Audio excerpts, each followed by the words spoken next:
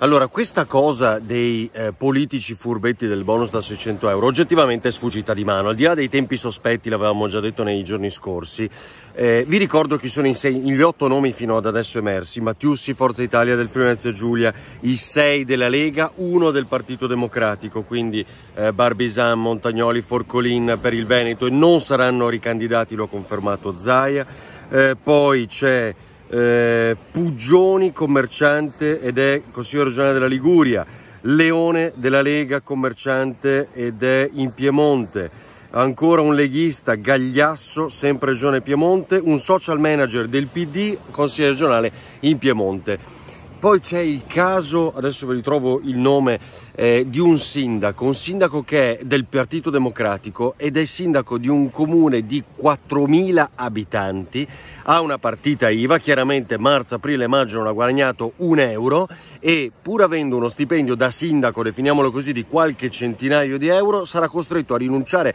a questo bonus per non finire nel cardenone di questi novelli in Overspierre che stanno cercando praticamente di infamare tutta questa parte della politica. Giusto, perché abbiamo detto più volte che da miserabili comunque con uno stipendio notevole come quello del consigliere regionale o del parlamentare, di cui non sappiamo ancora nulla, parlamentari non sappiamo nulla,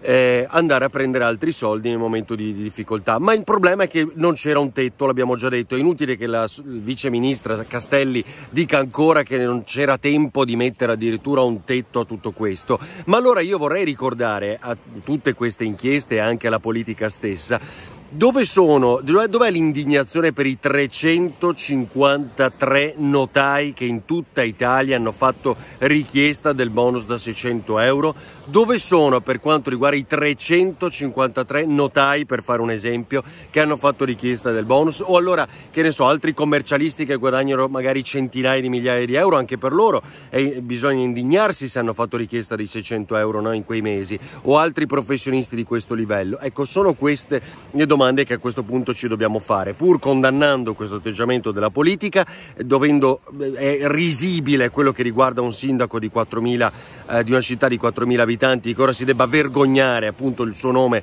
è ovunque. E, e, e, non ci indigniamo allora per tutti gli altri professionisti a questo punto che benissimo potevano cavarsela perché guadagnano centinaia di migliaia di euro ogni anno e anche loro hanno attinto risorse pubbliche.